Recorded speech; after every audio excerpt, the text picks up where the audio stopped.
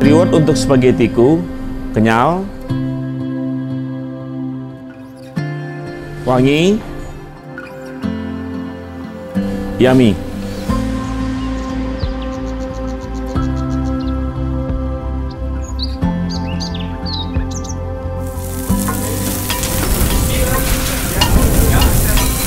Untuk memasak pesto krim, pertama-tama kita lakukan adalah memasak pastanya dahulu selama kurang lebih 20 sampai 35 menit tergantung dari panas dari air tersebut.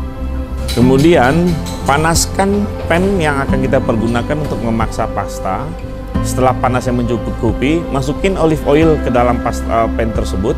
Kemudian masak bawang bombay. Setelah aroma wanginya tercapai dan berwarna kecoklatan, masukkan bawang putih, tumis sampai aromanya teraduk dengan merata.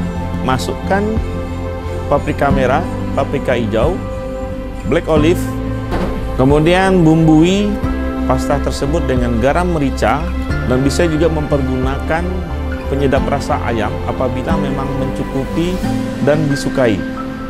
Setelah rasa tercapai, masukkan pasta dan aduk sampai rata. Setelah teraduk, baru campurkan krim.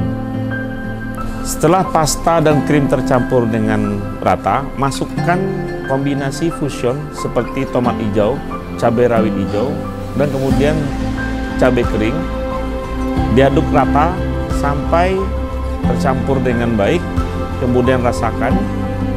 Setelah itu tuh diamkan sebentar, baru sajikan di atas piring dan siap dihidangkan dan selamat menikmati.